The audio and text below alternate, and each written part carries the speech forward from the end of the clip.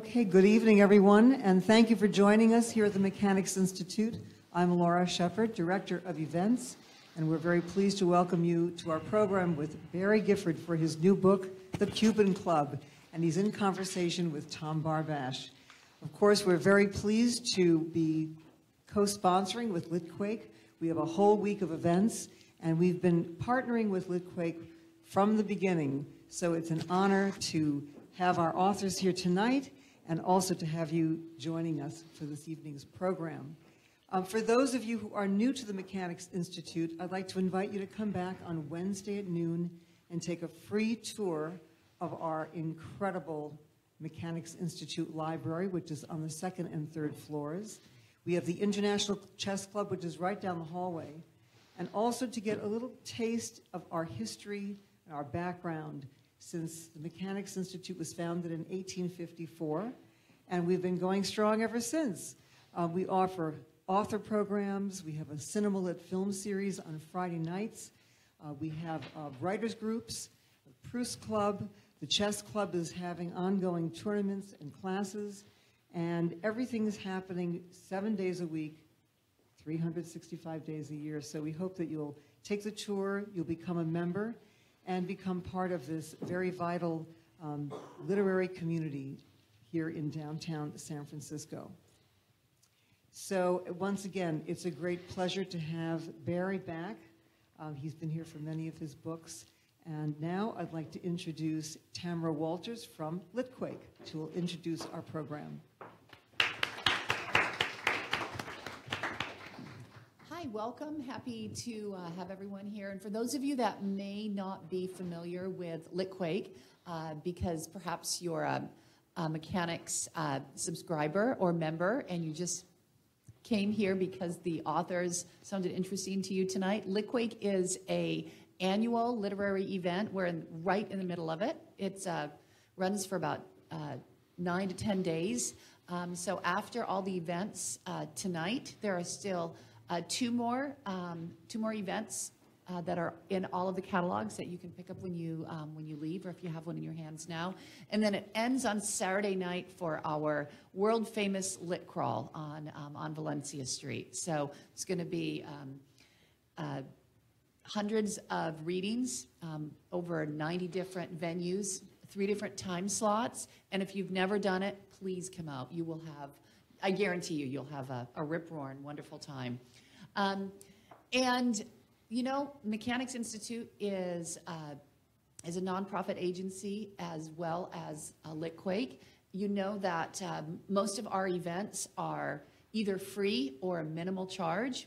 Um, and unfortunately, we've lost some of our funding this year. Uh, we, uh, with the uh, disintegration of the National Endowments for the Art, that was a big one that we used to get every year. Um, we are, uh, we're still vital and we're here and we're happy to be here. But if you care to make a donation, um, there is a donation bucket at the door. Um, no pressure, but if you you feel so moved um, to donate, we would um, gladly take your gladly take your donations. If you go to Lit Crawl though on Saturday night, I guarantee you're going to get help at every event that you go to. Uh, we also are selling our great posters this year. Um, they're eight dollars. They're on the um, they're on the back table. So. Uh, see one of us at the um, end of the event if you have questions about Lit Crawl. Um, and please pick up a program so you can see what else we're offering. And it goes over all of the events on Saturday night.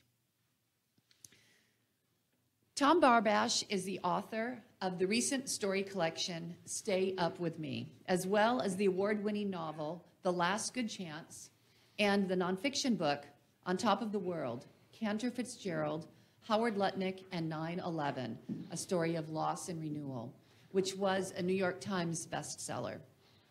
Barry Gifford is the author of more than 40 works of fiction, nonfiction, and poetry, which have been translated into 28 languages.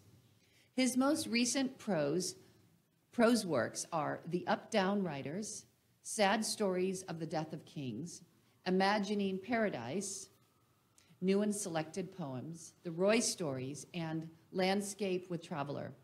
Gifford's novel Wild at Heart, the story of Sailor and Lula, was adapted by director David Lynch as a film, which won the Palme d'Or at the Cannes Film Festival. His other films include Lost Highway, City of Ghosts, and You Can't Win. Of Gifford, Jonathan, Le- Jonathan Lethem says he invented his own American vernacular. William Faulkner, Faulkner by way of B movie, film noir, porn paperbacks, and Sun Records rockabilly.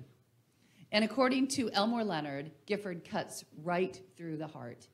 Tonight he discusses his new short fiction collection, The Cuban Club, with Tom Barbash. Please welcome Tom and Barry. Thanks.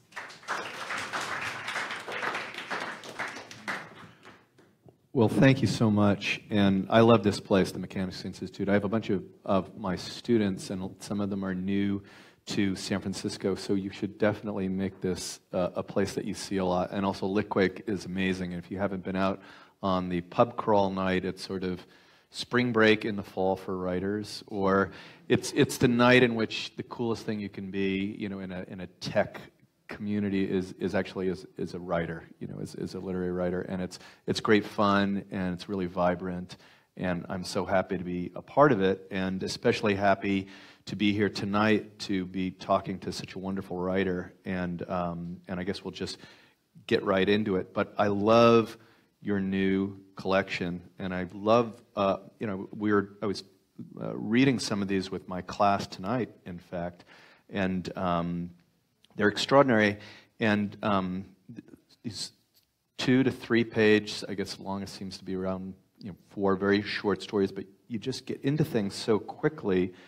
Um, and, um, and I'm wondering, these, these are part of the Roy stories, and you've written a lot of books, or a few books, um, about this character, how it seems, how you can access that time I, I, I, there, I, know a little bit about your history and, and, growing up similar to Roy, but how it seems so much of the, the child's perspective, so much of his, it does not feel like the adult has put a spin on it. It's, it, it's so full of what, um, what he cannot grasp, what he grasps. There's all sorts of situations in which adult, uh, uh, um, his father's missteps and, and parents' missteps collide with him, and he's not quite sure how to make sense of it.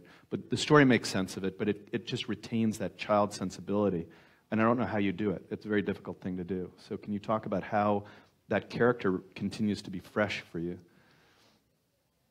Well, first of all, I want to thank Laura Shepard, uh, who is the director here, the literary program, or whatever she calls herself. But uh, I appeared here once before, and she's a lovely woman.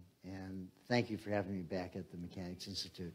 And yeah, if you haven't gone on a, on a tour, this is a great building, man. And they have a chess room and a wonderful library, and where there are lots of old guys sleeping. Uh, and oh, it's it's you know it's really part of that old San Francisco, you know. And it reminds me. I, am sorry that I'm departing from this. No, I I want myself, to. But but. Uh, I was with my friend Vinny, and, and I'm always, I always like to come down here, and before I come over here or somewhere, I always go in the House of Shields. And across the street, you know, which is maybe now the oldest bar left in San Francisco. And I remember when um, I was first with William Saroyan, and Saroyan was a member here back in the 30s and 40s. And uh, I'm sure some of you know who William Saroyan was. But uh, I remember for, our, for the first time that, that Bill and I met, and this is probably late 70s, I guess.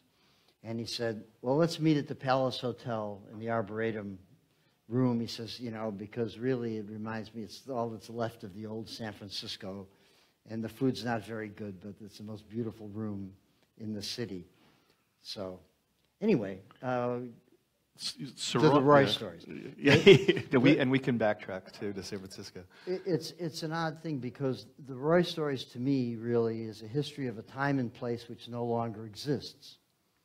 So when I started writing the Roy stories, now there's a big volume called the Roy stories, and the Cuban Club is really a sequel, more right. or less, an extension, but Roy in a little mature, more mature state. And it covers basically the very late 1940s, but the 1950s through the early 60s, mostly in Chicago, but also in Florida, Miami and Key West, Florida, and Havana, Cuba, and New Orleans, where I grew up. in all these places. I was born in Chicago. And now there's a guy doing a documentary called Roy's World, which is all done archivally with photographs, film, all of that kind of thing, and various people reading the Roy stories Willem Dafoe, Matt Dillon, Lili Taylor, uh, various others, and, and myself. So, because he wanted to do a film about the Roy stories, and I said, as long as I don't have to be in it, then that's fine. That you know, it's just But now you are going to be just in it if you do. evocative. No, I'm Yeah. not going to Yeah. appear. I'm not going to appear in it. I've Yeah. done others, but anyway, I said I just want this to be about Roy, and so yes, they are very short stories for the most part, but uh, you know, I debated early on whether to call them chapters, although there's an elliptical structure, so it's not chronological in terms of age, but it takes this childhood history and history of a place from the age of about 5 to 17. And then it ends. And I wanted to document this time and to everybody their own childhood, because I'm not an autobiographical writer per se. There are certainly elements of autobiography in here where, which are jumping off places, let's say for the stories. And there are real incidents that take place, but it's fiction, you know. Fiction means that you made it up. And uh, I didn't want any constraints, so I didn't want to write a nonfiction book where, you know, I'm doing a history of, of this place. Better, I'm, I'm a fiction writer, so better to be free like that. And that's really, that's really what it is. But so much of it, I was noticing, are, are the sort of little moments that Roy witnesses, and he keeps asking questions. I was thinking of your past as a journalist asking questions, but he's, he's asking the adults questions, and they're giving him sort of half answers. They're not entirely explaining things. You know, Well. I've always been interested in what people mean behind the words they're using. And uh, as a child, I was always interested in that way. And you know, you're always going to get some kind of double talk. And growing up in the situation that I did, I give you a brief history, some of which is reflected in the Roy stories in the Cuban Club, is um, I was born in Chicago. My mother was the University of Texas beauty queen in 1944. And she married my father. And she had then left University of Texas and she went to uh, New York, became a model, went to Chicago, was modeling fur coats in the merchandise mart for Joseph Kennedy. And she met my dad, who uh, had a liquor store and pharmacy on the corner of Chicago and Rush Streets, which was sort of the center of town. That was it. Everything happened there. But he was involved in organized crime. I actually wrote a book about this called The Phantom Father some years ago, back in the 90s. But in any event, he was almost 20 years older than my mother. And she was 22, I think, when she married him. 22 or 21. Anyway, so that was the world that I came up in, like sort of hanging around, you know, in that club district. The Club Alabama was next door and all of that. And it was a 24 hour kind of life.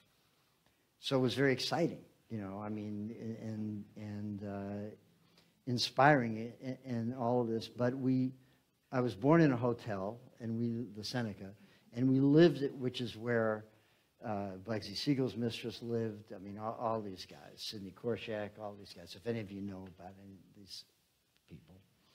In, in any case, uh, but we lived in hotels, and my mother was often very ill, and she had lupus, which they didn't know about back then. There was no lupus foundation then. So, uh, you know, she liked to be in tropical places, which is why we lived in Key West and we lived in, we were in Havana and, you know, like that. And we lived in hotels everywhere that we were. And this was the greatest possible university for a writer. I know, well, I, I, I never went got to university per se, but you know, the, the thing is that already I was just listening to people's stories, people who are from all over the world. And I'd meet them, you know, in the lobbies or around a swimming pool or just wherever on the beach, that kind of thing. And my playmates were basically, you know, these Cuban street kids, and that's where I got my Spanish from, you know, which is pretty low rent, disgraceful Spanish, but they don't like me to speak it when I'm in Spain. And uh, So it was that kind of life, and I was left on my own a great deal. Now, did you? There's a moment in Chicago, Illinois, that story we were talking about before, and the kid's in the cab, and the cab driver asks him, and he says just that. He said, "Yeah, I grew up in a hotel, and we go back and forth between Havana and Key West." And it seems to him not unusual when he says it. It's just right. I mean, but it that's did what's it. familiar to you, even Right. if you just grow up and you have nothing but the block you're on. You know, it doesn't matter, and you build a whole universe out of that. I was fortunate because I I was aware of how other people lived. Like I say, so I'm listening to their stories, and if they were, you know, Bible salesmen from Nashville or wherever it was, these were whole worlds, you know, I was being introduced to in that way. And so then fiction came into it very early, Tom, and you certainly understand this. Because I remember one time I was sitting and talking to these people, and my mother came in, and a woman and maybe her daughter or son or something.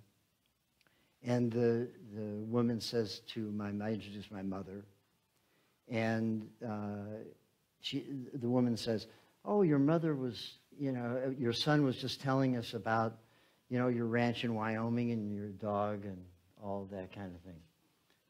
Well, I'd never been in Wyoming, and I didn't have a dog, and so, you know, but my mother was cool. You know, my mother said, "Oh yes," you know. she was a good liar too. Remember what Proust said: literature is the finest kind of lying. So I was able, you know, in some way to turn this into the kind of fiction where I'm telling a story, but yeah, there's there's something more, you know, going on there. You know, in Citizen Kane, and I think probably a lot of you have seen Orson Welles' film, famous film of, Citizen Kane, and, and Welles said the greatest moment for him in the film of Citizen Kane is when Everett Sloane, as the old man Bernstein, who they talked to, who mm-hmm. was with him from the beginning with the newspaper and all the rest of his life and everything like that. And Bernstein is being interviewed about the life of Charles Foster Kane, and he says, You know, he says, in 1896, I was on a ferry going across the river here in New York, and uh, I saw a girl on the shore in a white dress. And he says, Not a day in my life has gone by that I don't think of that girl. And it, it's the moments, what Tom was talking about. That's the kickoff for any story. That's the kickoff for, for anything that I write. I never know where I'm going with the story. I never know what the end of it's going to be. It's a mystery to me, but a good mystery because I want to find out. With novels, certainly, uh, you know, it, it's and and that's really where it comes from. It comes from just those moments, and th- that's what I really wanted to capture, mostly in the Roy stories. It's funny because I wrote this whole series of Sailor and Lula novels, which now may be a TV series. I just got back from LA. I was telling Tom mm. because Universal wants to do this, so we'll see. But the the thing the thing is that with something like Wild at Heart and all that, which is much flashier, it's a totally different thing. It's written out of the southern side of my life. That the Roy stories are all very different, and the temperature is different. And they sell about half the number of copies as the Sailor and Lula novels uh, do, but um, which is fine with me. But this is what I really wanted to capture, and it's, they're the most important books to me personally.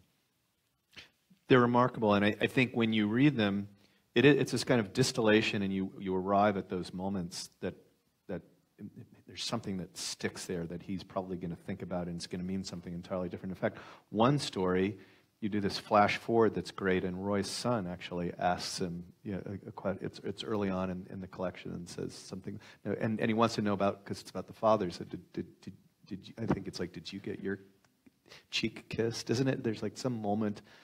Do you know Oh, the where the story? showgirl kisses right, right, right, right. And that's the question that Roy's son wants to know. It's sort of like, and I, I read it to be, do you have that kind of quality of your father, that kind of mystery and charisma or something? You know? Well, the other thing that was sort of a mystery to me because my parents were divorced when I was five, and he died when I was 12. And uh, so I did spend time with him, of course, and I was interested in, you know, in that world, but I didn't continue in that world because he was gone. My mother was married five times and had a totally different kind of life. Uh, I mean, I supported her the last 35 years of her life, you know. But she had about 10, 12 years in there where, which was pretty exciting, you know. And she'd be in Rio or she'd be in the Dominican Republic or she'd, you know, be somewhere, Mexico, wherever it, it happened to be. So, a- and also living in hotels and traveling mostly with my mother, again, I was alone a lot, so I'm left to my own devices.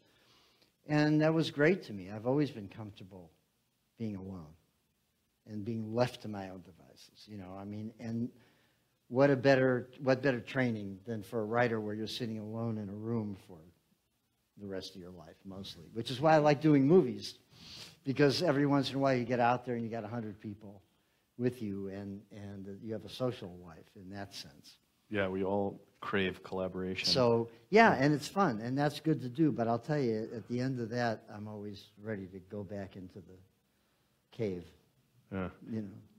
Well, I would say that it, it, it must never feel like you're entirely alone because, I, I mean, you seem to, you're one of the best writers of dialogue, as far as I'm concerned, around. And the way you sort of channel voices, I mean, I was wondering, speaking of that, if you could talk about this gem of a book, um, the, the, the writer's book, um, and this, you know, I, you know, I was, the Hemingway that you capture, I remember reading Lillian Ross, I think, had a, had Profile. a profile, yeah, of Hemingway, and I had a sense of him there, and that same vivid, you know, I, I don't know how you capture whether it's Hemingway or Melville or Camus or, you know, I mean, just how, how did that come about?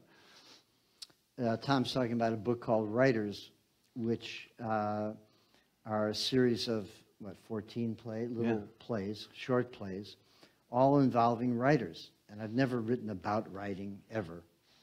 And uh, I've never read about it either. So, But specific moments, like Camus is in a hotel room, yeah, right, so it's Camus and Melville, and uh, there is one Hemingway. The, the uh, Jane Bowles one is maybe my favorite, and Emily Dickinson, uh, Beckett, and Joyce. And so it's, again, you're right, it's moments. It's just, uh, you know, they're plays, and they just capture this person, I hope, uh, successfully through the moments, like Camus in a hotel room in New York with a prostitute. And isn't her, her, her ex-pimp is going to be executed, ex- executed, at right? midnight? Yeah, and and so it's it's there, You need that, that, that. and and I did drawings of all of them. That's Yeah. you can show them. the Oh, book. that's it. But, but anyway, it's- I don't know that they have copies here. Yeah. But but anyway, it's a different kind of thing entirely. So this was my way of doing biography. But of course, I've made up all of the stories. You know, a couple of them are based on on real incidents, like Hemingway with the members of the Brooklyn Dodgers who used to train in Havana in the 40s, and uh, you know, sort of obscure moments of of these people. You know, and then of course imaginary situations. You know, Jane Bowles, Paul Bowles's wife, you know, who was a far superior writer to Paul and you know she's having a martini you know at a hotel bar in new york and you know it just it just depends so i just got a kick out of it and then people like them and the publisher says well what, said well why don't you do drawings of the people because i draw and uh, they did a lovely little book and it's been produced a couple of times the last time in new york at the new school and then laura shepard wants to produce a, a version of it here, which would be fun. Something else, yeah, but that's the theater. You don't get paid much. And uh, I did do a play, Wyoming, at the Magic Theater. Um, when was that? Like 2000, year 2000, I think it was, which were really the Roy stories. It's a, it's a section of the bigger book called The Roy Stories about Roy and his mother driving. It's very uh, hermetic in this way. They're in a car. Everything takes place while they're driving a car, and the entire it's a novel actually, and it's all told in dialogue. all the description, description comes through their dialogue. And I always thought if I could get to that place of understanding in terms of writing, where I could just reflect everything through the dialogue, that would be perfect, or almost perfect. So that's what I did. I don't know if it was perfect. It's, But- it's close to it. yeah. It's almost perfect. Somebody once said to me, well, you never want to have anything be perfect because better to be almost perfect because then you still have something to go for and to look forward to in that sense. And that's really held true. So I wanted to ask you, you grew up in hotels. You, you told us a little bit about your parents, and then from what I've read, you go to Missouri on an athletic scholarship. But I'm not on what in what sport did you play? Baseball and football. Wow, what position? Uh, well, I was a shortstop and third baseman and a running back in football. And were, were, what was your baseball team that you rooted for as a Well, kid? That I rooted for? Yeah. Cubs. I grew up near Wrigley Field. of course. By the way, did the Cubs win the game today? They lost. They were down one to nothing when I left. What? Sorry, this this could throw everything Who gave up here. the grand slam? Did Lester give up the grand slam? All right, so they lost what five nothing or something. Okay, so they'll play tomorrow, I think. Yeah, there's still Anyway, but you know, we, we don't have to get into the Cubs, but you know, that was a local ballpark and nobody came. You know, at the most there were a couple thousand people there, if that. And uh, so that was it. But anyway, to answer the question, yes. I mean, through school, you know, I went to school very erratically. When I was younger, I was often away. So I didn't go to school at all. So I didn't like the discipline, you know, that was forced upon you in the schools. And so uh, I spent most of my time looking out the window. And uh, the only thing that really kept me sane was sports. I was good at them, and I, I really enjoyed it. And so, yeah, so then I had an athletic scholarship to the University of Missouri, basically to play baseball, and they had played for the national championship the year before. And I knew the South, of course, because I'd lived in the South. And in those days, Columbia, Missouri was very much the South. You know, they flew the Confederate flag and all that stuff. So I was very at ease. I wasn't black. So the, the thing, in those days, I wasn't black. So in, in any case, uh, that's what I did. So I was there for a few months, and then I went to Europe when I was 18. I was 17. To England, right? And, And you were then a I w- musician. Then I weren't went to Europe too? at, uh, a few months later. I just didn't want to be in school anymore. And um, I was never subject to the draft, really, because I had joined the Air Force Reserve at that time when I was 17. And uh, without going into that whole story, so I never had a student deferment. So I went to Europe and was living there on and off for the next several years. And, and were you you were a musician, weren't you? I was. too? And you met at like from it seems like you met Jimi Hendrix. You met uh, who else? You met you met all these. And you were a journalist for Rolling Stone at some point. I was right? one of the original writers for Rolling Stone when I came out here in the beginning of 68. But yeah, but in, in London in those days, which is where I went first, I was between London and Paris. But in, it was very small. It was like this, you know, everybody knew everybody. It was easy to meet people. Everybody played together, and it wasn't a big deal. And nobody was making a lot of money. You know, it wasn't that kind of thing. And, and in a way, it was a very generous world, you know, and everybody was on drugs. And some got through it and some didn't. And so, yeah, so I had a band in London in mid 60s, but I made my money working as a merchant seaman. I would take off and, you know, work as an ordinary seaman on a ship, make my money, jump the ship, come back to London or Paris or whatever it was, and I shipped out of Rotterdam then. So I did that for a couple of years off and on. But it was a way to make money without having a job that you had to be tied to in that way. And school was not for me, so that wasn't in my future. So that's that's that story. And what were you were you writing? You were writing songs. Then? Also, Were was the end of my athletic career. Yeah. Um, uh, well, I had a couple questions. Just wondering what you were writing then, and also maybe even what some of your stories for Rolling Stone were. What sort of things they Hmm. had you covering? Well, the, the, the, what I was writing really was song lyrics. And then I began writing poetry, which came from the song lyrics. And when I was 20, I won this poetry prize in London. And my first book was published there then. But I realized, looking at that book, that in fact, I, I didn't know what the second act was. I, I really didn't know anything about poetry. Um, the, the, the editor or the, who chose this was an editor of a magazine, a literary magazine called The Listener, which was very famous in those days. In any case, but I, I really didn't know where it came from, so I resolved to find out where it did come from and went to people who knew, people who had been students or were students, or people who could say, well, read Ezra Pound and let Pound be your teacher. Read The Spirit of Romance and The Guide to Kulchur and the ABC of Reading and so, so forth and so on. And that's what I started doing and going to the references. Uh, I always liked to read, but where I really uh, developed my sense of narrative was from old movies on TV.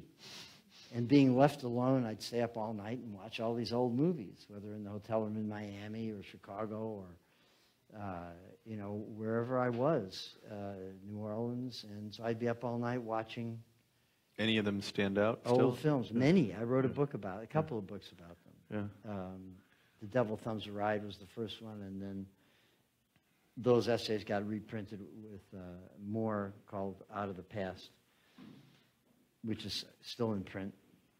I just got a check for fifty-four dollars. Residuals, but you know, twenty-five or thirty years later, that's good. You know, in in any event, but that's really where I learned how to tell a story. You know, it didn't come from somebody teaching me how to do this and then reading whomever I wound up reading, whether my models were Conrad and Jack London and all, and Melville. But then I realized that the people with whom I had the most affinity were women writers and gay writers. Mm-hmm. Now, I never quite understood why at, at the time, but there was something about the sensibility, once I understood who these people were, uh, regardless of the context, that there was a sensibility that was really important to me and moved me. And so I wanted to know more about that because I thought, you know, being the kind of kid that I was and, you know, going to sea or doing these kinds of jobs and all that sort of thing was, um, yeah, it's in that London, Conrad, Melville mold or whatever you were, but that was limited to me. Well, isn't that a lot have to do with what a powerful presence your mother was in your imagination? And she was, she told you these stories. She's one of the first person who was telling you im- im- imaginary stories was your mom. So Well, my mother really didn't tell me the stories. My mother, actually, she was a good musician, too. She played the piano and sang. She was a talented woman, but her illness brought her down. And, but no, it wasn't, it wasn't that.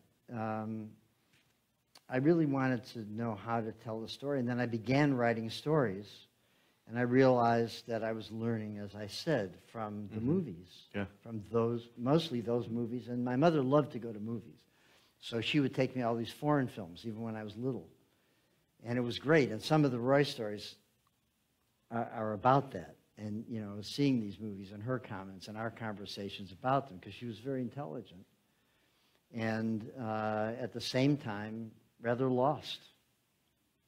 So, you know, as my daughter used to say when things weren't working out so well, she'd say, Pop, we're doomed. And I, and I always liked that word. And my mother was sort of a doomed person in that regard. So, um, anyway, that's, that's where it developed and all these different influences. But the one thing I want to say is that because I really didn't have any formal education, and I'm basically an autodidact, I'm not alone in this. But the thing is, I would always seek out those people whom I thought could teach me. I do it to this day, you know? And uh, if somebody knows something about whatever it was, it's like, you know, I wanted to know, I was always interested in horse racing. So I wound up writing a piece for the Atlantic Monthly, and, and, which eventually became a book about it. But I wound up running racehorses, thoroughbreds, with a guy for a year. So there I was, wound up, you know, not like John McPhee or something, but nevertheless, I was in the stall wrapping the horse's legs, you know, and doing all that. It's like going to the end of something. Otherwise, how do you know?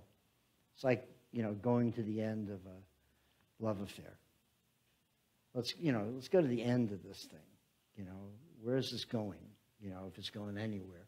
But I've, I've always been a big believer in that. Otherwise, how do you find out what's right for you and what's not, and you know what's enduring?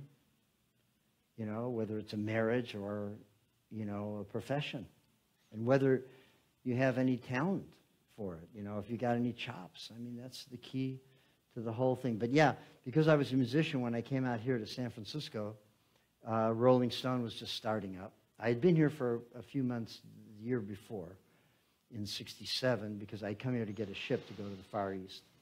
And then uh, uh, when I came back, it was I think January of 1968, um, Rolling Stone was starting. And so somehow I got involved with them. In fact, now they have a thing, my, my assistant told me this a while back. He said, you know, he says there's this archive, Rolling Stone has this archive, and, there, and you're the person whose pieces are on, on, in the archive, so you can go read half a dozen of your articles. Or, Oh, I want to do that. or yeah. stuff like that on the on the Rolling Stone archive. And um, yeah, it was nice. When I went to the Rock and Roll Hall of Fame in Cleveland, we were, I was doing something at Oberlin there and, and an opera thing. And, and uh, so I said to the composer, Olga Neuwirth, I said, well, let's go to the Rock and Roll Hall of Fame. What else is there to do in Cleveland, you know?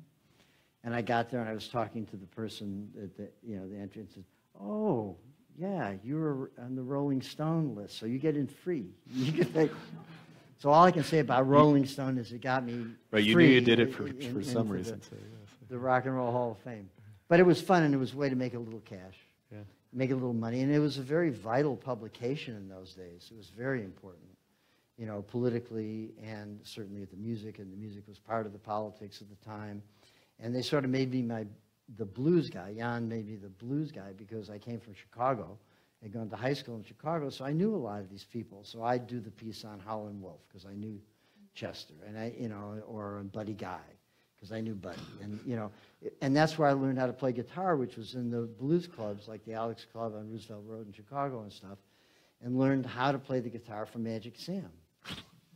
You know, what an amazing thing, you know, to have that. But you just have to show up, you know. Oh my God. And who was it that said, you know, three quarters of it is Woody just Allen, showing up? think, Woody yeah, Allen. yeah.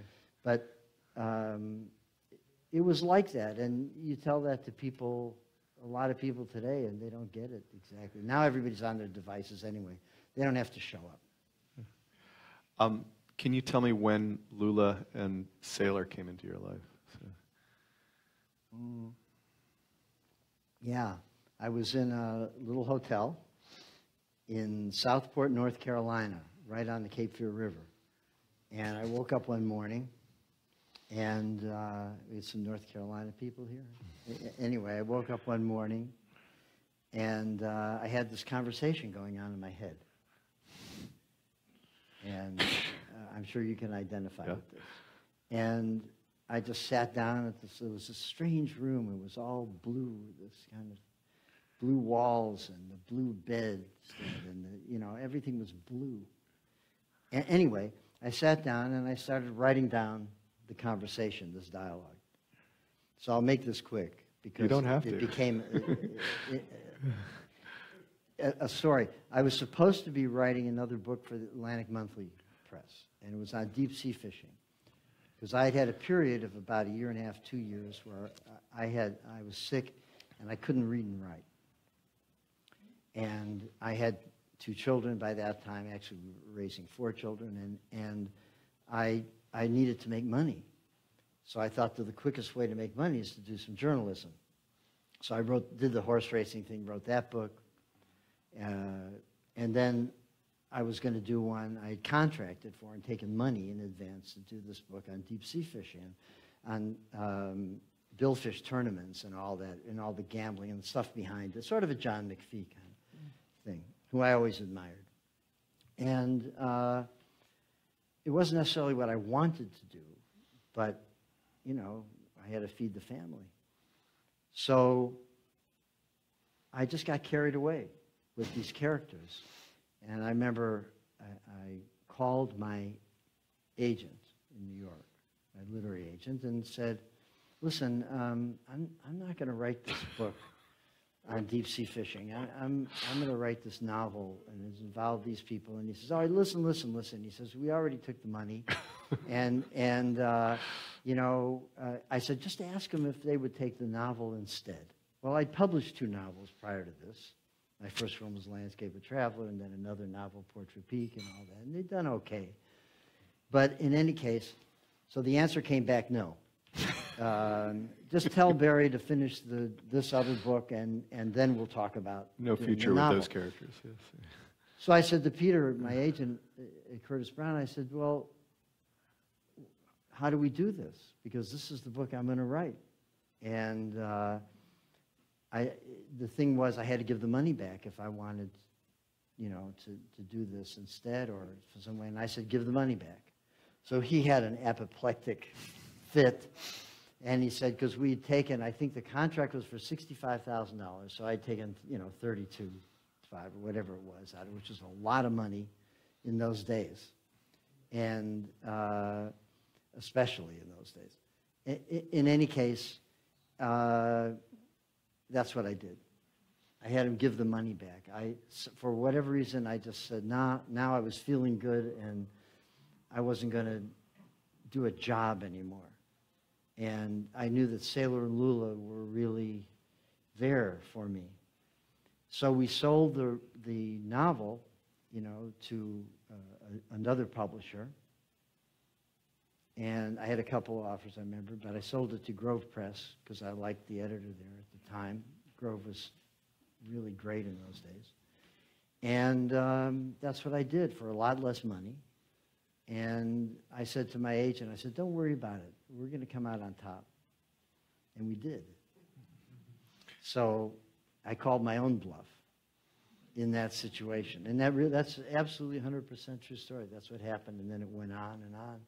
And the movie got made and all the rest of it. And, and uh, Well, I want to, and I want to ask about the movie, but I was wanting to ask before that, what are the pleasures of, because now you've written a number of books about these characters, and the, the, the pleasures of sticking with characters for several books? What, what you know, um, why did you stick, why did you, you know, wh- wh- what was the thought process behind thinking there were more books to be had? I didn't from uh, at, at first. I mean, I wrote, Wild at Heart was the first of the Sailor and Lula novels. And then that got bought for the movies. And uh, then when David Lynch called me up and he said, Barry, I want you to write the screenplay, I said, okay, in about six months, because I'm writing the sec- what became the second part, Perdita Durango, which also was made into a film with Javier Bardem and James Gandolfini and Rosie Perez. And, and uh, I said, I, but I can't do it now. I said, so you write the screenplay and send it to me, and then I'll tell you what's wrong with it. And, and so that's what happened. So I, I, I, I read a story in which he'd read the novel and then he said, "Did they stay together?" And you said, supposedly, "Yeah, sure." And so then he wrote. He, that's, that's, how you that's get the part ending. of the story. Yeah. What, what happened was, anyway, so what happened, Yeah. just to answer your question, Yeah. yeah, I thought I was finished, but then I wound up writing six novels and novellas right in a row, all about Sailor and Lula and the attendant characters and all that kind of thing. Fifteen years later, I went back and wrote another one called The Imagination of the Heart about the, Lula, because I wanted to know what happened to her after Sailor had died. And then a couple of years after that, I went back and I wrote a novel called The Up Down, which came out last Which is year, year Pace, before, right, yeah. which was about their son Pace after both of his parents had died. And so I, I went to the end of it.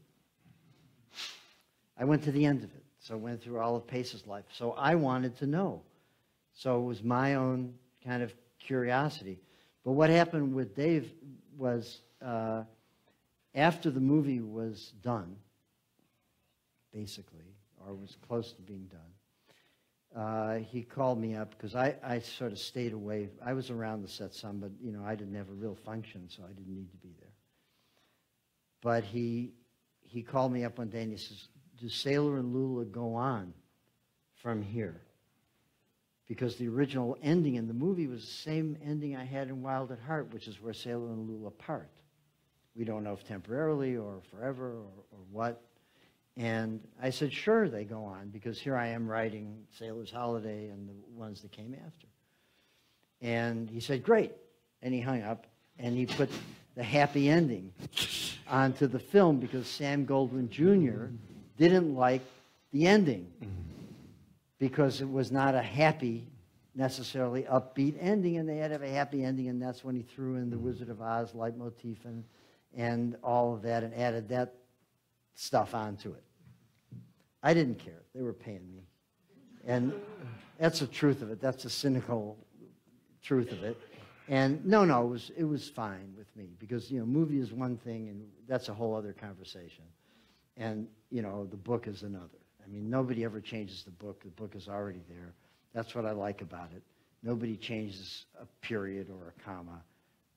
You know, we're God in that instance. And that's it. With a movie, you know, despite what people say about auteurs and so forth, it's a collaboration. Right, and I, and I was going to ask you that because you've talked about, you know, how the, the need to be alone with the work, what it was like to work with David Lynch, and you worked again with Lost Highway. You know, if you could talk a little bit about that, but um, uh, it, it, it, you know, what was that whole experience with an incredible filmmaker? You know, I mean, really. I mean, Well, after, after Wild at Heart, we did uh, Hotel Room. Right. Which were the first plays I ever wrote, really. And uh, he directed both of those for this TV series on HBO, but we were, uh, HBO hated it because they wanted Tales from the Crypt. And in those days, it, it- these are wonderful. It's lost directorial work in a way of David's. You can get it on YouTube. You can see it on YouTube because it was never released in DVD. But there's a book that still exists for the Hotel Room plays, Hotel Room Trilogy, because I wrote three of them. And, and we did two. And uh, th- that was the next thing that we did. But the casts are wonderful. Freddie Jones from the Royal Shakespeare Company, Harry Dean Stanton, our dear friend. Uh, wonderful people. And uh, then we did Lost Highway. David had bought the rights to a novel of mine called Night People and was trying to figure out how to make a movie of it. And I said, well, listen, we're, you know, we're each capable of half of an original thought. So why don't we put our heads together and come up with one original thought? And he said, well, there's a couple, there's a couple lines I really love from the movie. I said, what are, from the novel? And I said, well, what are they? He says, well, this one woman says to another, we're just a couple of Apaches riding wild on the Lost Highway. I said, okay, we can use that line. And I said, what was the other one? He says, he says, you and me, mister, you know, we can out ugly them some bitches, can't we? And I said, oh, we can figure a place for that too. And so we wrote Lost Highway. That's where it started from. And, uh, you know, that movie didn't do very well. But what happened to that movie, I mean, Cahiers du Cinema named it one of the 50 great films of the century. And it's had a long life and legendary thing. And, you know, I was with Dave a couple days ago. I just got back from LA. And we were talking about this with a couple of other people, and I was saying, well, you know, I always saw that as a bridge for your own work, because you're asking about him as a great filmmaker, which is entirely true. But a kind of a bridge to the work that came after. He said, absolutely. That was the turning point. That was the thing, you know, that really did it. And it's had this long life and sort of passed into a kind of a legend, and for that I'm happy. You know, so, you know, that was it. And then we had a couple of other projects which didn't go, as is typical for things like that. Yeah, it- seems, it feels like it should happen more often. I mean, it seems like there's a lot of movie talent that needs story talent. there's sort of pe- people that are great at making movies. Well, a director like Lynch needs the story. He, he needs the dialogue, he needs the people, because he's a painter and he's a visionary. And so you want to give him his vision and give him the framework, the frame of reference to create these images and these situations where he can work out his imagination. And sometimes, you know, you have a push and pull with all these things. But no, working with Lynch, which was not my first experience with the movies, because my novel Port Tropique had been bought for the movies. They asked me to write a screenplay for it, which I did, but that movie never got made. And I had some other little dealings with, with people, but that was the first work, you know, that ever came into being. And went on from there, and then other directors asked me to write for them, and I've been very privileged in that regard to do writing for some really great directors, and in Europe too. And so uh, that's that's that's what happens. But it's an entirely different language, Tom. You know, I mean, you have to. It, it took me a while to really learn how to write for the screen because Fitzgerald never learned it, right? it's a, no, and and it's another language, and not everybody can do it. But for me, it was like you know learning Esperanto, or something, Portuguese, you know, and and you have to do the your due diligence and find out how to do it because you're just to quote the obvious, not telling you anything you don't know, but it's showing, not telling. But if you can figure out how to tell something and sneak it in there, that's pretty great.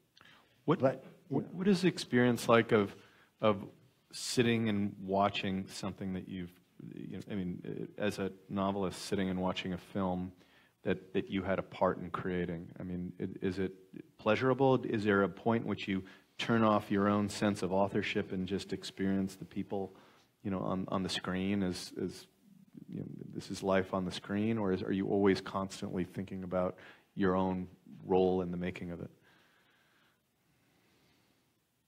No, I, I've never thought about my part in it. I'm, I'm only thinking about what's going on on the screen. You know, why is the camera on her? It should be on him. You know, this should have been shot day for night. Mm-hmm. This should have been, you know, in other words, you just, you know, but unless you're the director or you're in control of it all, that's nothing you can do about it. But sometimes it depends how closely some directors want you to be there, like with Lost Highway. You know, I sat through the whole thing because Dave and I were co-proprietors, so we were, you know, I sat on the set every day and we worked together with all of that sort of stuff. So that was a rare experience because David had never even had allowed a writer on the set before. But we were partners, and, and it's always been that way, and we're still good friends. And in fact, he named his new daughter Lula. Hmm.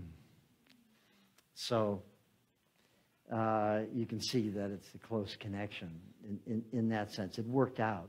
And everybody from those days are still friends. Steve Golin, who was one of the producers, became a mogul. He produced 12 Years a Slave. He's won three or four Academy Awards now.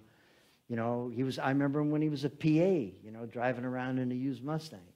And, you know, so when you start and still has a poster of Wild at Heart behind his desk, you know, and it's wonderful when you can start out like that, really, and have that beginning because basically it's sort of all downhill from there. No, it really is Yeah. because then you get into the reality of it. So I never wanted to be sucked too much into that Hollywood stuff, and I'm not, and I haven't been, and I'll only work on films that I think can be, you know, possibly special or great, whether they're from my own work or it's original work or whatever it happens to be.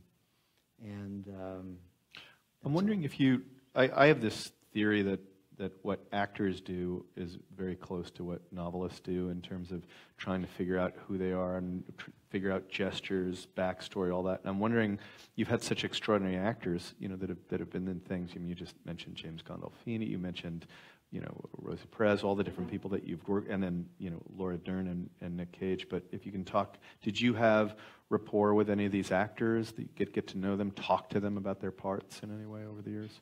First of all, actors are mostly trying to figure out who they are in real life, Right, necessarily in the movies. The, the movies give them who they are. They've, they're that character. You know, oh, yeah, now I can be the Prince of Sweden. You know, and, and, and, and like that. I mean, this is the, obvi- the obvious thing. Well, on, the, on Wild at Heart, I'll never forget, Harry Dean came to me one time and he asked me about motivation of his character. Just classic, you know. And, and of course, Harry Dean had been in like every television show in Western and The Untouchables and going back to the 50s and was in every movie ever made. and, and, you know, it was a wonderful guy. So there he is asking me about the motivation of this particular character. So, you know, I'm just hanging around and I told him what I thought about the character. So about 20 minutes later, the producer, Monty Montgomery, comes up to me and he said, who was the, the on-site producer, and he says, don't you ever talk to Harry Dean Stanton again about character. you know? because now, when, when Lynch told him something or other, you know, and the expression he's supposed to have, or I, I don't even know what it was, you know, like that, he was telling David how this character thinks, you know, and David said, Who told you that? And he said, Barry. So I was fucked. After that, you know, they didn't want me around much anyway. I mean, I could see it already. But I learned my lesson right away. It was really fun, you know. You didn't have to tell Harry Dean. No, I wouldn't Anything. think you would. Um, I'm wondering, have you been to Cuba, you know, recently or since? I was there a few years ago. And how was that to go back there and, you know, just seeing it now versus when you were Well, growing up? it, it was, well, in what regard? I mean, you, Um, everybody knows about how Cuba was stuck in time.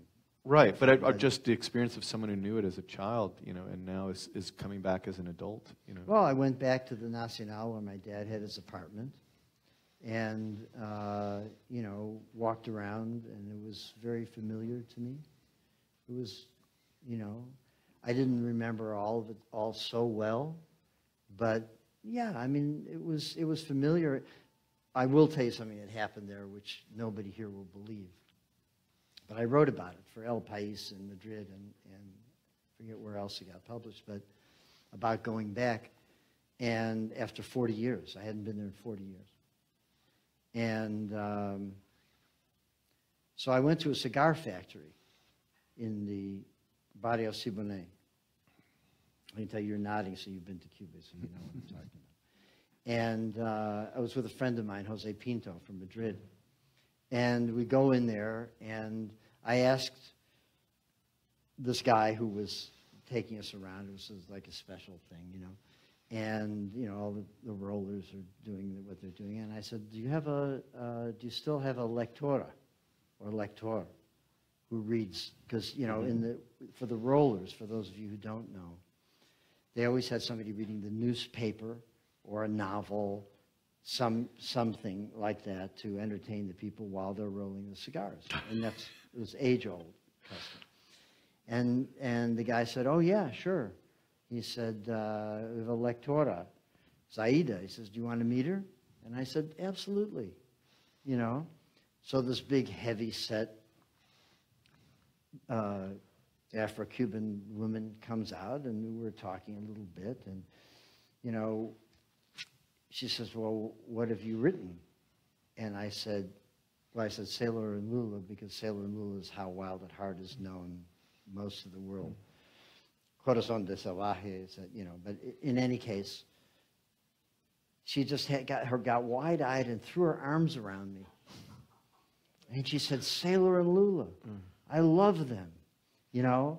And she said that uh, she had seen the movie, which they pirate all the movies, and she had fallen in love with the movie, and she had gotten the book because the Spanish edition, and all that's or Mexican. I can't remember what she said.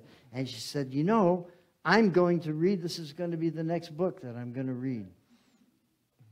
And she showed me the book that she had.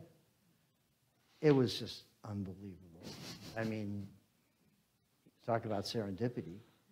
I mean, that was just remarkable. And my friend Jose Pinto. And then she took me around and introduced me to all the, the most efficient rollers, as she, as she said. You know, she said, you know, the, the. And, and so uh, that really happened. And my friend uh, Jose, we were walking out on these steps there, and he said, What more could a writer ask for? That's great. That's great. So I've been fortunate in this regard to have, you know, it goes a long way, these things. And uh, it's, anyway, it's wonderful. It was wonderful for me. I'm wondering, do we have time to get some questions from the audience? Did you want So- to read something? Oh, yes, yes, will you? Questions from the audience we're- and we're also gonna- from Facebook, too. Oh, and Barry was, it's, if- is it all right if he reads a little bit? So- Okay, great. I'm Do- not going to read from that. No, but not I from would that. Read it. You wanted me. You wanted me to read a story. Yeah, but whichever you want, but I, yeah, either This one I, I thought was great, but they're all great. Um, Can I read two? Yeah. Well, uh, give me the Chicago one Yeah. that you wanted. Yeah. Because I don't have that. yeah, uh, Or maybe it's- it's in the other book. No, it's in this book.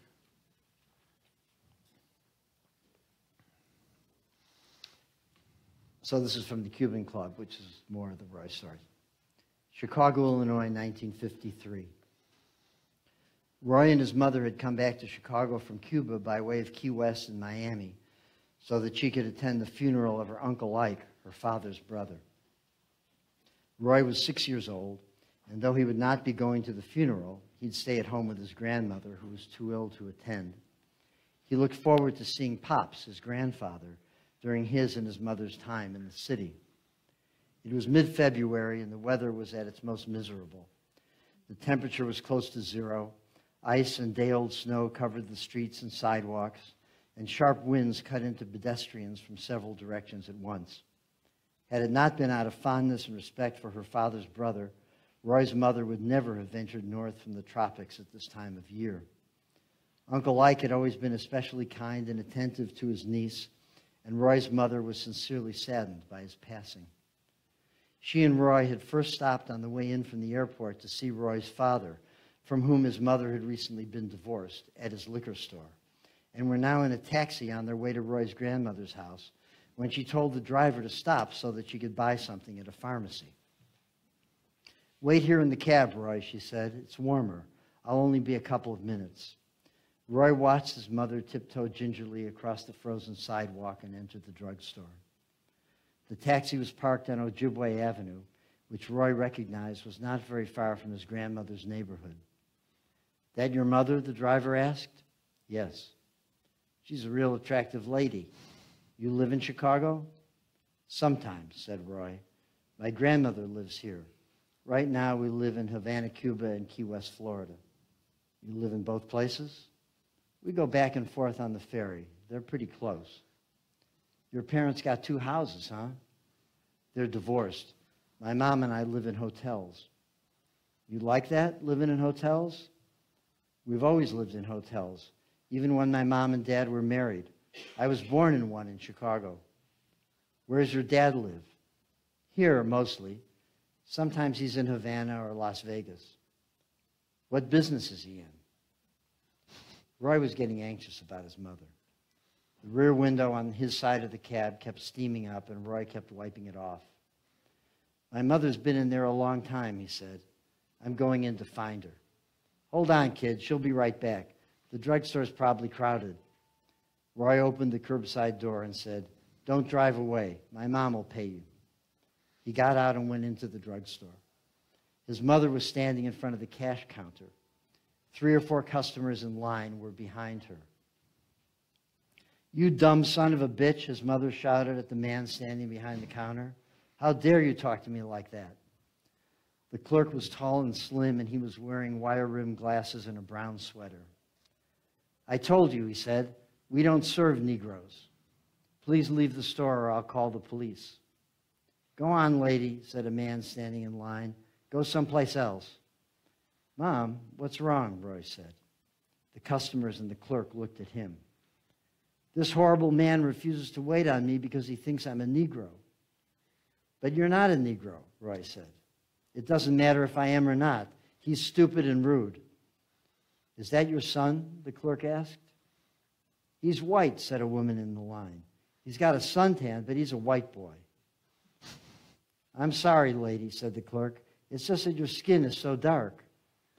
Her hair's red, said the woman. She and the boy have been in the sun too much down south somewhere. Roy's mother threw the two bottles of lotion she'd been holding at the clerk. He caught one, and the other bounced off his chest and fell on the floor behind the counter.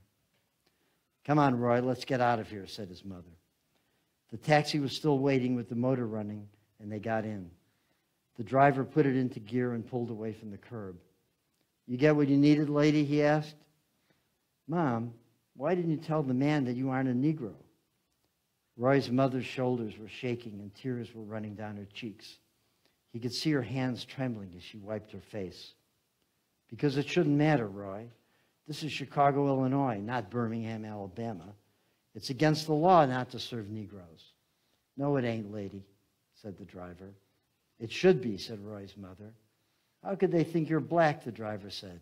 If I'd thought you were a Negro, I wouldn't have picked you up.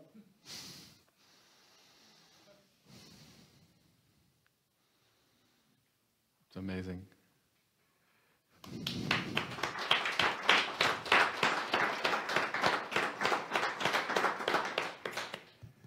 Anyway, that's, that's sort of the drift.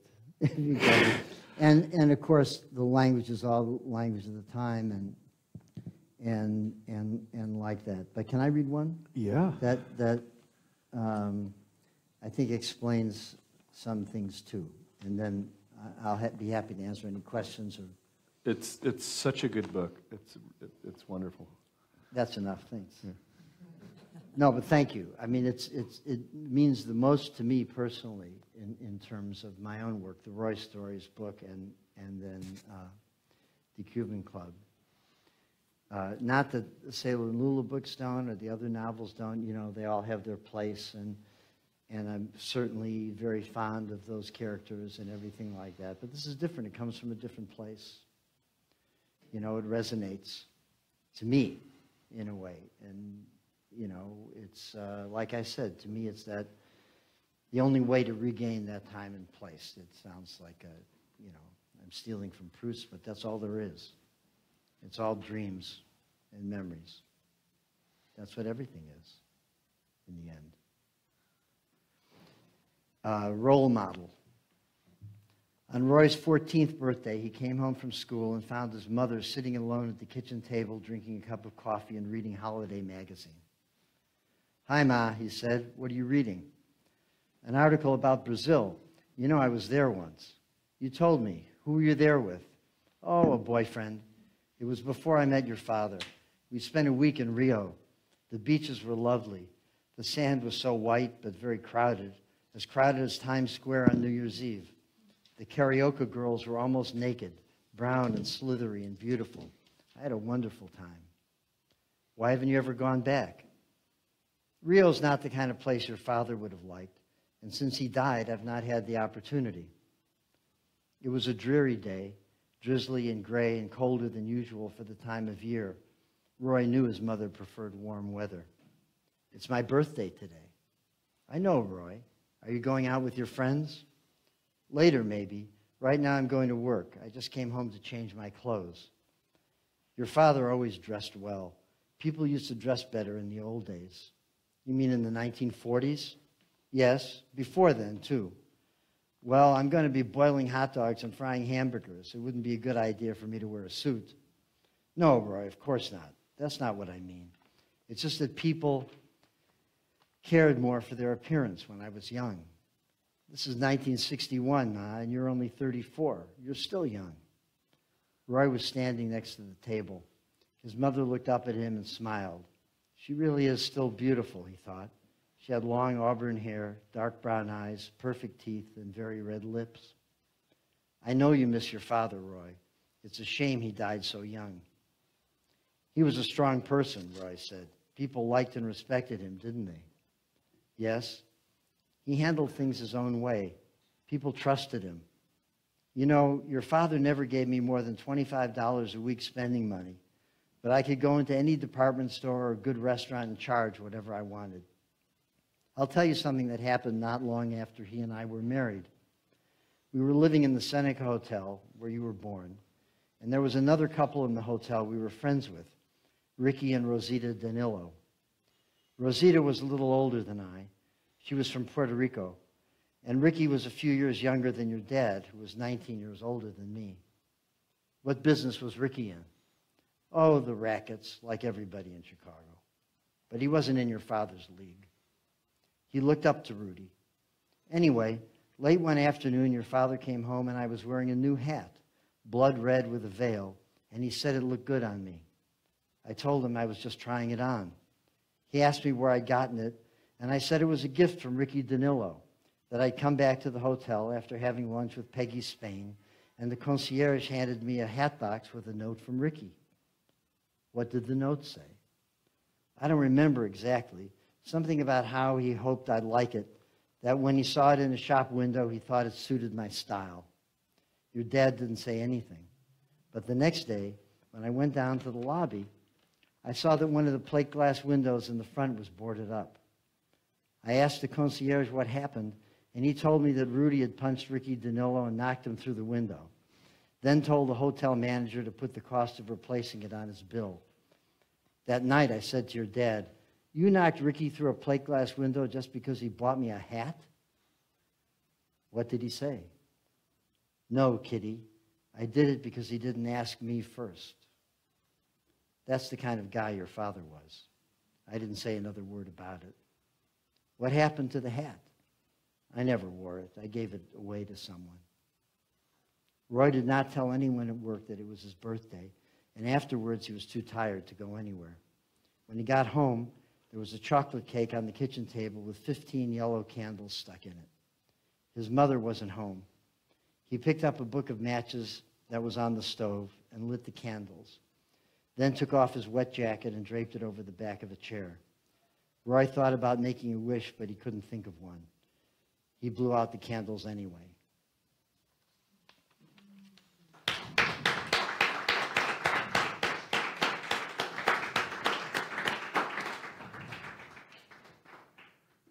So uh, I guess we'd love to take some questions from the audience.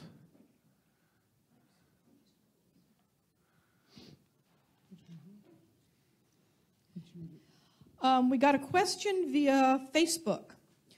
Can Barry talk about times, or one particular time, when the fear of action, the fear of creating, has taken hold of him? He seems completely fearless, born or learned. Um, what was the question? Have you ever had writer's block? Um, time. Well, no, time. Was the, what did they say about time?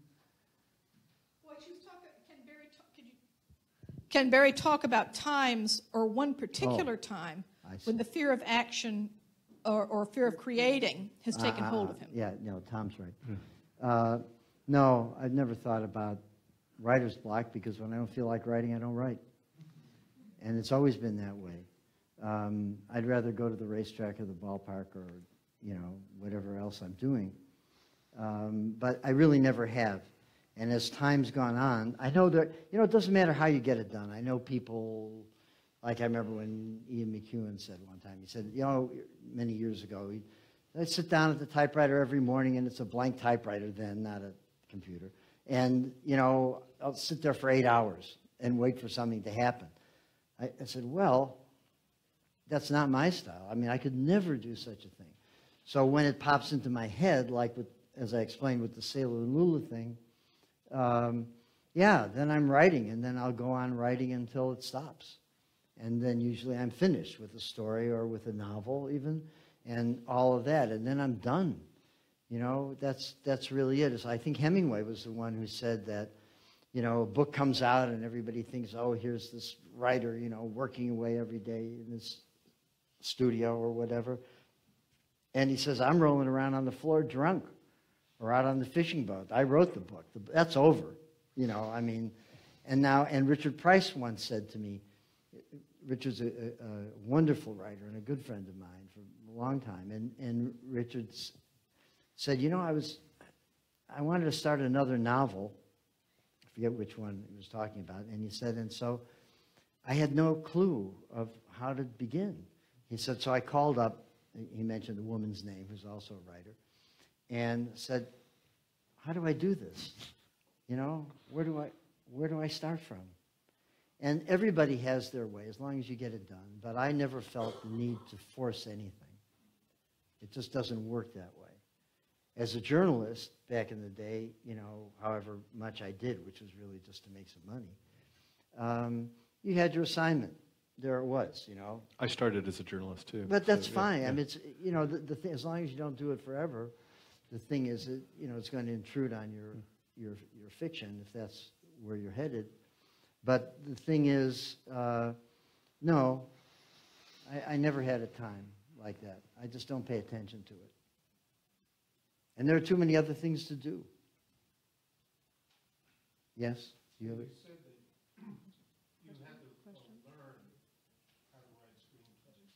very different from writing fiction. On the other hand, though, so much of your fiction consists of dialogue.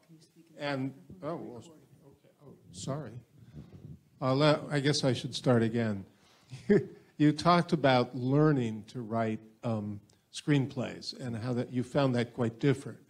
Uh, But on the other hand, a lot of your fiction is very dialogue rich. And uh, much of that dialogue seems to me, from what I've read, I certainly haven't read everything by any means, but to be uh, the kind of thing that would very naturally suit films. So I wonder what, what's the difference here? Is there, uh, what kind of transition did you have to make? Well, at first I thought that, and, and people would say to me, uh, producers or directors would, would say, well, we want you to, we, you know, you write the great dialogue and this, and that's what we need, you know, in movies and that sort of stuff. And I said, oh, that's, that's fine. And then once I was with Matt Dillon, and Matt, I wrote, wrote a, I wrote a film that he directed, City of Ghosts. And uh, we were being interviewed together. Can't remember where. But uh, somebody asked a question, and he immediately said, said, "Oh, but Barry's so good with structure." You know, he just said, you know, I, I really never pay attention to structure. The, the, the thing is that, that the dialogue is where everything comes from for me. And I, I thought I explained, you know, having this kind of university of hotel lobbies and the street and all of that kind of stuff, just listening to people talk. And, and so I have a good memory, and, or used to anyway, have a good memory. And, and so just to recreate that, you know, and so if it sounds true to people, that's great. I mean, there are a number of wonderful writers of dialogue, each in their, in their own way. But um, I try to be true to the character, and I don't mean to be disingenuous by saying this. You have to know your character. Who is it that's talking? Do you know? You can't have everybody talk like yourself or, you know, th- that sort of thing. I'm not an autobiographical writer per se.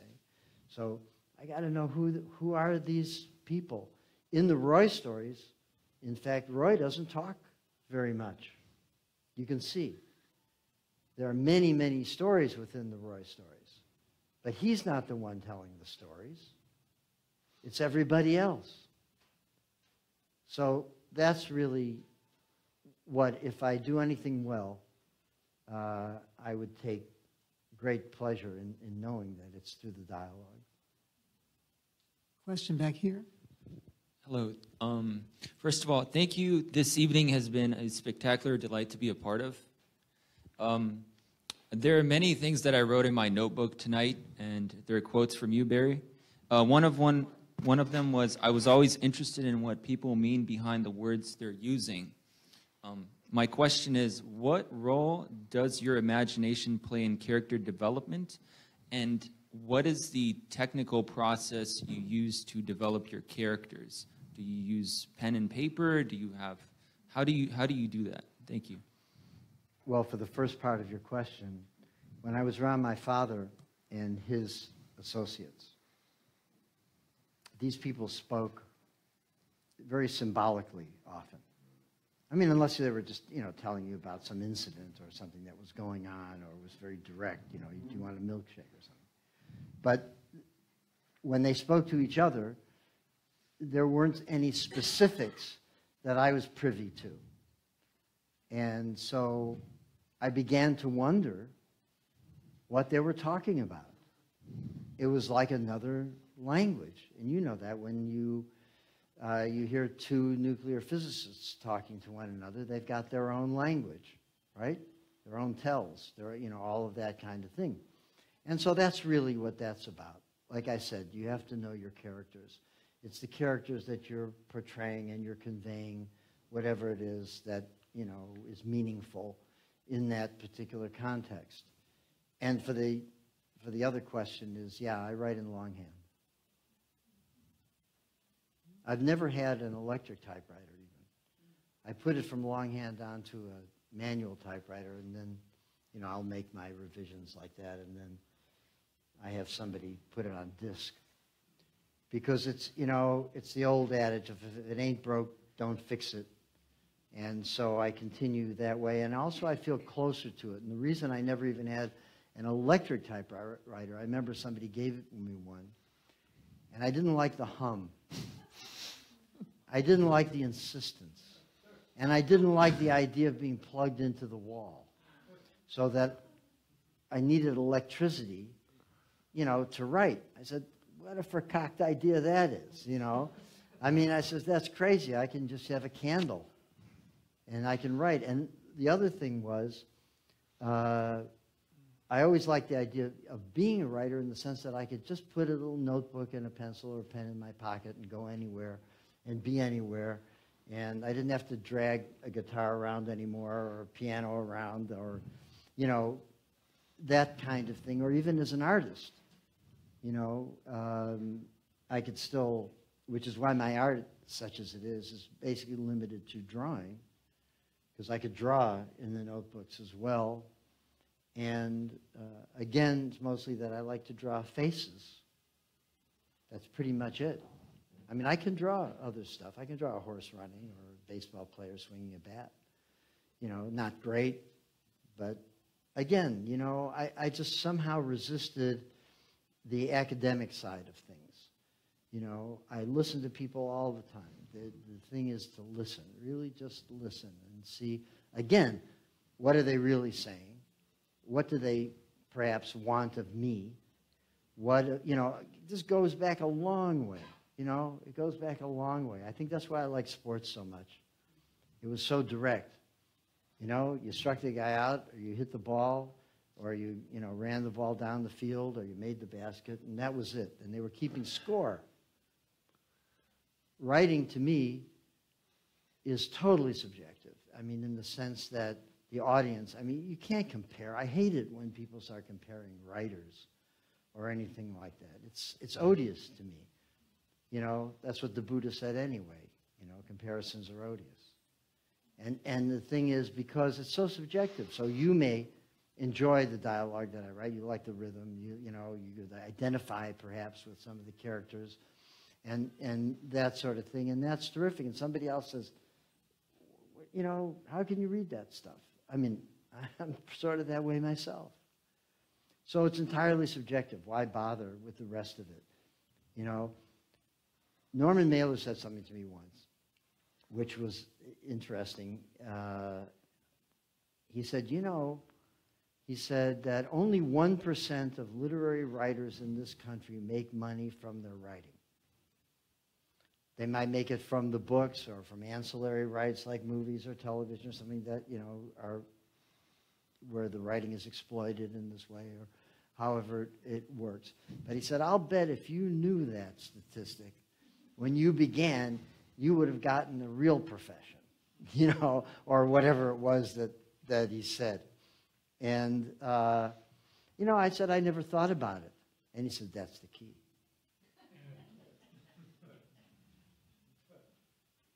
Never gave it a thought. This is what all I liked were, you know, I liked writing and reading, you know. I like baseball and I like girls. Nothing's changed. Okay, this is our last question. Hi, Barry. You're a musician. What are your instruments and who is your favorite musician? Well, the latter is a big question. Big, if I tell you Pablo Casals, you know, you'd nod and say, oh, yeah, that's very respectable. But I don't know, maybe Jimmy Rogers. Or, I mean, I can give you we can sit here all night and talk about musicians and musicianship. That's, that's another thing.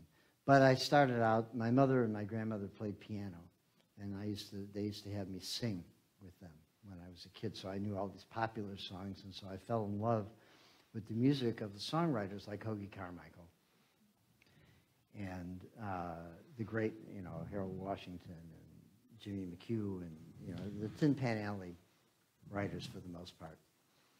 And so that's really the music that I wanted to play, and that's most redolent for me. And uh, but I started by playing. I, I did uh, take piano lessons for about you know, three weeks. But I, I, anyway, I couldn't do it. I mean, not that I couldn't play the piano, I just didn't want to sit around waiting for this teacher or something. I wanted to go out and play ball. So I did. But then years later, I started playing the guitar, like I said. And I started with guitar, and then I went to the piano because the piano was easier for me to compose on. And it's all right there in front of you, right? And so I realized that if I had any skill or any talent at all regarding music, it was as a songwriter. So here we're right back to writing again. The poetry came out of the song lyrics. It's all there. It's all that. And a, a buddy of mine and I wrote songs for Warner Brothers for a couple of years, and you know all that to no great success. And it's a hard life. I mean, it's it's a tough thing to do, but it's Agustín Lara. It's the it's the it's the Jobim and Gilberto. It's the it's the songwriters that impress me and that I care about the most. So it just comes right back to where we are and why we're here. It's the writing. Well, Thank that- you- thank Yeah, you. that seems like a great place to, to end it. So, well, thank you so much, everybody, for coming out.